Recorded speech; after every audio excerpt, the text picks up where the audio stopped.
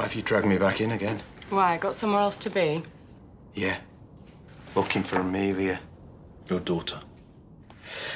Oh, that's a bit murky at the moment. A bit like your life, wouldn't you say? Eh? The other day, were you entirely honest with us?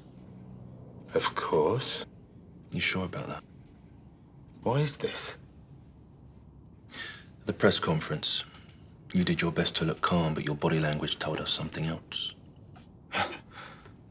I'm sorry, I, I, I don't know what you're getting at. You tried to hide it, but you were a bag of nerves. Why was that? Guilt, perhaps? Right, if you've got something to say, I think you'd best just say it.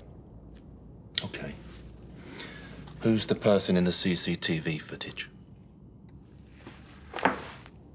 How would I know? Are you paying them to hide Amelia somewhere? What?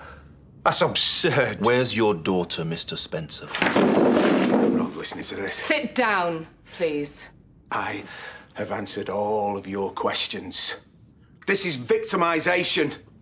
I don't know who that person is, but if I did, I'd have fetched Amelia home by now. There's no way you lot are pinning this on me. If you're innocent, why are you getting so wound up?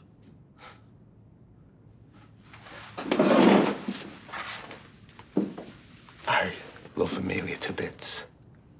Love can make people do terrible things. Duck my own daughter.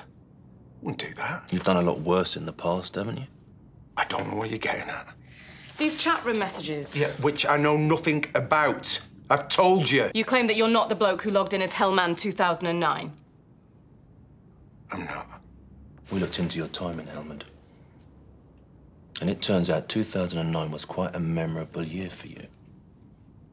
Not one you'd forget in a hurry. And yet you did forget to mention it the other day.